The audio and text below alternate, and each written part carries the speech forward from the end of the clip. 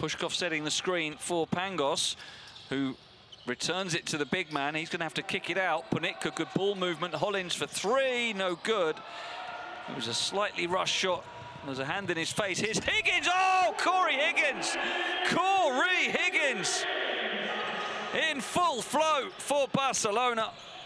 A quick transition. Calathes found him. And then the hammer thrown down by Higgins.